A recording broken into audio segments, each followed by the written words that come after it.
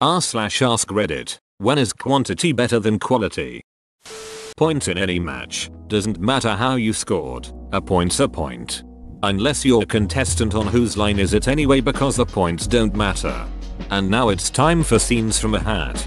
Times it would be inappropriate to begin removing your clothes. Do you know why I pulled you over? Happy birthday, grandma. Pretty sure a stroke in golf could be considered a point against you so might be one flaw to your plan. The quality of the points still don't matter. EHH the word quantity doesn't specify high or low. So technically as I hit a shitty drive and a lucky but not quality shot to get on the green and 2 put, I can still hit par. Good quantity. Shit quality. Great shots with a shitty roll into the sand. Quantity still beats quality. If you're an alcoholic then probably booze. Hand sanitizer squad where you at? Mouthwash gang checking in. Wet isn't bobby pins because you lose them anyway. I can't agree more. In my household, there's also the possibility that our cat has stolen them. I'd rather have extra over needing to wrestle the cat for something I paid way too much for. My pug is obsessed with bobbins, aka hair ties, loves to chew twang fling them. I buy them in bulk to keep him happy. Yes, but there has to be a minimum quality. I'm never using a rubber band as a hair tie again. Spending time with your kids. Your kids don't care that you took them to France for 2 weeks. If you're not around the rest of the year, it's much more important to be present and to be a part of their daily routines. Edit for clarification. When I say spending time, I mean interacting with them, not just occupying the same room and being inattentive. Also, yes, I get it. If they spend all day beating you, then it's not great. I'd like to think I didn't have to be explicit about that. My dad literally took me to Paris for a week as a surprise after spending my childhood being emotionally and verbally abusive towards me and spending no time with me as a father. I've literally been in this position and I agree wholeheartedly lol. We don't talk anymore. That shit sucks because all that ends up happening is you go to Paris only to be abused there. What a great ducking vacation. Pretty much. I loved going. It was beautiful, but I can't unhear the things he said about what I ate there, my relationship at the time, me being excited about benign things, I'm in Paris, you're supposed to be excited and eat good food without a second thought. I thought it would let up for a week but it didn't. Zerg Rush. Speed is a quality. And a quantity. Also, Vespene gas. You'll hear all the sales talk about using premium quality, but it's all the same stuff. Never heard anyone say, we need better Vespene gas. But, we need more Vespene gas. You must construct additional pylons. You must construct better pylons. No, right? Dollars. It'll take 1 million even if they are in barely acceptable condition. Alright, 1 million Zimbabwean dollars. Just for you. R slash Themen Keyscore. Better than most comments there. Granted. And you die from cancer. Really? Come on now. Yep, most people aren't really good at monkey's paw. The point is to duck with their wording. You can't add shit. A good example from Fairly Odd Parents is I wish for an omelette, and Timmy gets an omelette with no plate or utensils. Some people would say okay but her omelette has shards of glass in it for no duckin' reason. Bees. When Oprah Winfrey gave away a bunch of bees on her show, it didn't matter if they were top quality or not. A bee is a bee. Did, did I miss this episode? Beespeacebees.com. The fact that someone bought this domain just to host the meme really makes it funnier. Guitar picks. It doesn't matter if you have a crappy hand me down one or a fancy collector's one. You're going to lose it one way or another. I met a guitar player a few weeks ago who mentioned that she has the same pick since, dunno, 15 years or so. It's a teardrop shaped one, which was pretty expensive, as she said. I have one that's 20 years old. I haven't been using it that long. It just got lost for 19 and a half years. I don't know of any pick that wouldn't wear down to a nub after 15 years of playing. Maybe she just held on to it.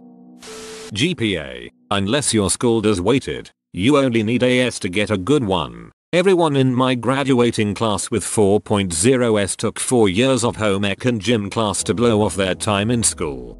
Yup, I took a bunch of super hard classes. did loads of work, and ended up with 3.6. My friend took a bunch of easier classes and got 4.0 without any massive effort.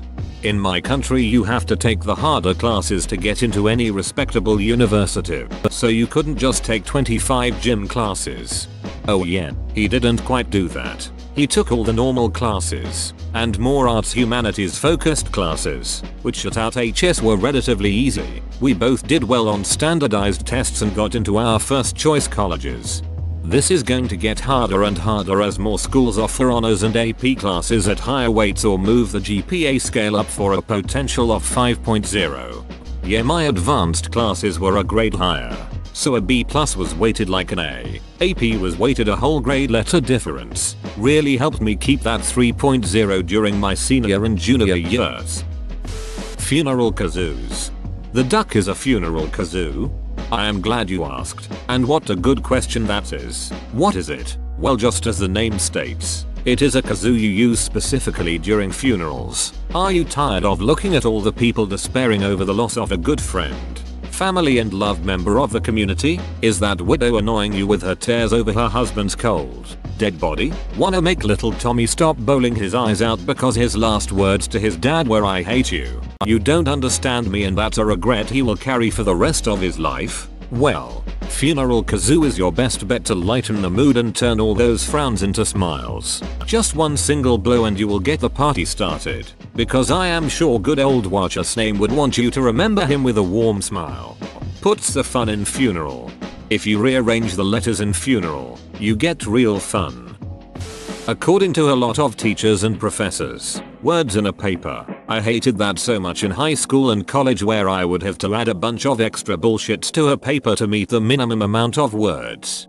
I'm a university professor, and that's why I no longer have an exact page count. I would like a reaction paper of 2 5 pages. Say what you have to say and keep it at that. It still freaks some students out. They have been programmed by their prior educational experiences to deliver an exact page word count. but The ambiguity is too much for them. I just remind them that lots of things in the real world don't have page counts. That's interesting. Most of my teacher would only give a maximum number of pages, but not a minimum. That way the bad essays wouldn't be too long xd. I'd have written you a shorter letter, but I didn't have the time. I do the same thing. Your report should be as long as it needs to be to explain what you've done, and no longer. If you add extra pages just to fill it up, you're not making me happy since I now have to spend more time reading useless crap. My English professor used to say an essay should like a woman's skirt, long enough to cover everything but short enough to keep it interesting. Most professors I've had actually had the opposite rule, with a maximum number of words allowed, the idea being that if you can't express your ideas clearly in XXX words, you're either waxing too much poetic or biting more than what you've been asked to chew. Mother duck and Tupperware lids. Happiness. I'd rather have more people happy than fewer people with more happiness. When you eat rice, one good rice grain won't satisfy hunger but a cup of mediocre rice will. Rice is great when you're hungry and you want to eat like 10,000 of something. Mitch Hedberg. I used to steal jokes. I still do. But I used to too. Edible food. For some people at least. Try surviving for a year on margarine. Then try surviving a year on potatoes, oranges and salmon. Quality of food is just as important. Hydrogen. When creating a new universe, honestly you need so much hydrogen. If you have enough, the quality emerges from quantity anyway. All the heavy metals and galaxies and nebulas and life and sentience all that shit. So that's what I've been doing wrong. Need more hydrogen. You know what to do boys. Time to buy some water bottles. God is that you? Not yet. I don't have enough hydrogen. Money when trying to break the YouTube algorithm. Munchies. I don't want a fine meal. I want to be able to consistently put something in my face.